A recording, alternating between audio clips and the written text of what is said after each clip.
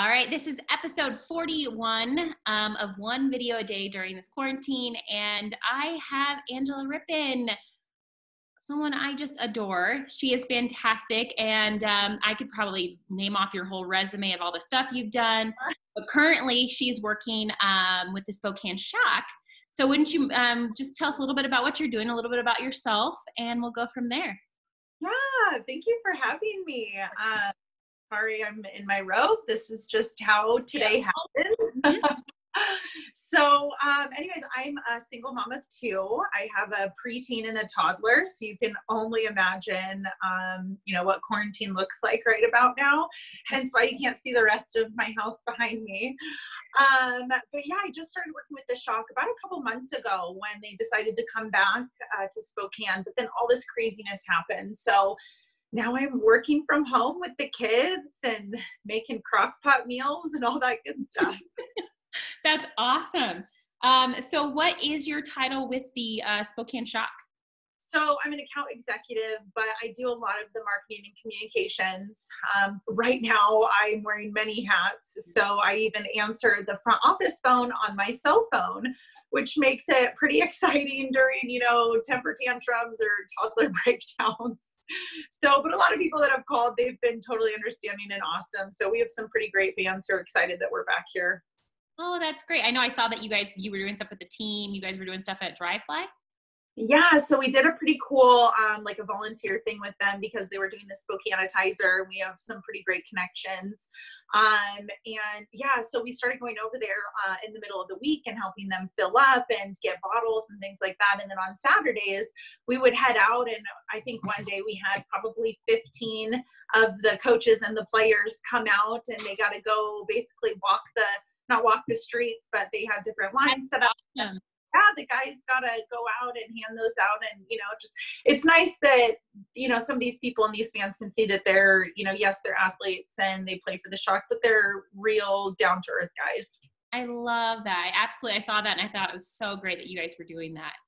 Yeah, it was it was a lot of fun. Right now, just because we aren't playing um, and everything was kind of pushed back, uh, we're trying to do a lot more volunteer stuff. So I know we, are talking a second harvest. Um, the uh, Blessings Under the Bridge is another one that hopefully we have something about to be set up for uh, this weekend and next weekend. So different things like that. We're really trying just to get um, you know, involved and get. We have six guys that are here in town to actually live here. The other four decided to stay because it was just a better place for them compared to where they would go home to. So um, while they're here, we're trying to get them involved places. Keep them busy. I like it. Exactly. Yeah. yeah. I guess, I mean, you have talked a little bit about how this stay at home has affected you. I mean, how has it affected your whole life, this uh, quarantine? Holy smokes. Well, I think I wear my robe on a daily basis. uh, just around the house. Um, you know, it's been really nice. We just recently moved to uh, the north side of Spokane. So um, I have a huge backyard. So not days like today, but um, other days are beautiful, and we get to get outside. Uh, my daughter's doing uh, work from home as well, so that's been really interesting because she's you know zooming with her teacher and our classmates. So we're kind of we have one schedule and it's like okay now you can use the computer because you have a zoom and then you use the computer. Um, so that's kind of fun. We also have uh, she does like zooms with her practice uh, for practices yeah. with her basketball team. Um, so that's kind of cool. It's one of those like you just never thought it was possible until it was the only thing that you had. And i think you know she's having a little bit of a harder time because you know she doesn't get to see her teammates and her friends and all that kind of stuff. So but she's hanging in there. She's a big help with the little guy. Yeah no kidding. So i know spokane is a lot it's until may 31st now. Um hopefully fingers crossed. So let's just say things are lifted and things can go kind you can kind of go back to normal. What's the first thing you would like to do as soon as quarantine is lifted I would, I don't know, I would just love to get together with my girlfriends and, you know, go out to dinner. that would that would be nice. Um, you know, all those little things that we kind of took for granted before. Um, you know, this is I feel like really put stuff into perspective on how lucky we are to be able to go out, you know, to events and you know, uh, take the kids. I remember my daughter asking once, you know, can we go to the um, carousel and I was just, you know, I was exhausted. I didn't get good sleep and I was like, no, I don't want to go. But it's one of those things where now I don't care how tired I am. I don't care, you know, how much I didn't sleep. It's like, yes, let's get out of the house. Let's start enjoying those things that we took, you know, advantage of and for granted. Oh, I agree totally. Um, so what's the worst and best thing of your job? So I guess you've only been working this position for such a short amount of time. Your uh, favorite thing and least favorite thing?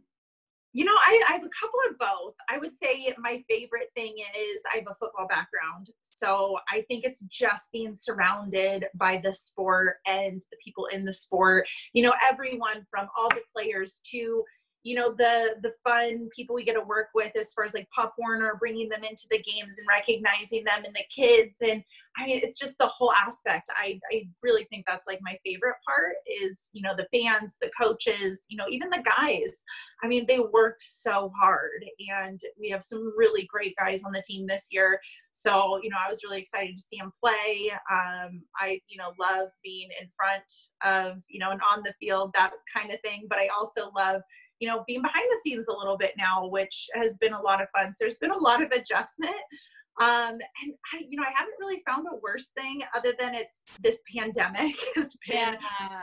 really hard to deal with. Um, I think it's been, I would say challenging just because, um, you know, it was out of our hands as far as the season being canceled.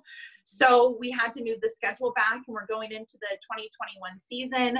Um, so it's been a little hard, you know, trying to communicate with people, especially, you know, being a single mom at home, trying to pick the phone up in those little pockets of our life, um, you know, that we can have conversations and say, you know, we're not going anywhere. We're here to stay. Um, but, you know, unfortunately, these are the circumstances and this is what we have to do.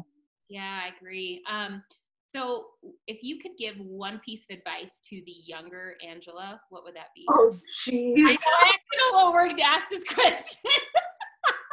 oh, oh, there's so many things. Um, oh goodness. I th- I think the biggest thing I remember, and it's crazy because you know now now my daughter she'll be 11 here in less than a month, and I think the craziest thing is remembering being that age. And you know because you don't remember being a toddler so it was it was it wasn't relatable. But now that she's at an age that i remember and i can go back to um you know sports wise friends wise uh, memories things like that um i remember wanting to grow up so fast like I always wanted to get through the next grade and I always like I wanted to graduate, I wanted to work, I wanted to travel, I wanted to do all these things. Um, so I never really enjoyed the moment.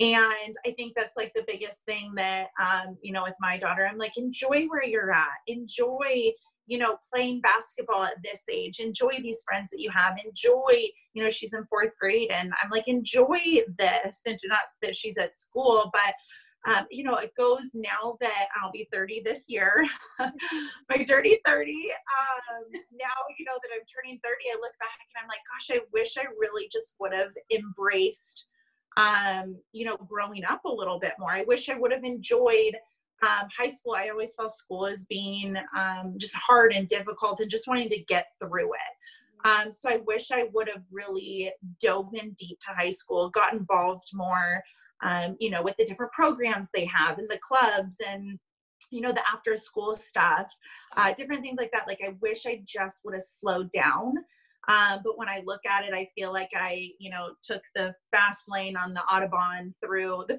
past 30 years. So i feel like that would be my long version of piece of advice. That is perfect. So how can um, you're you help the community you're involved in a lot of things and um, yeah.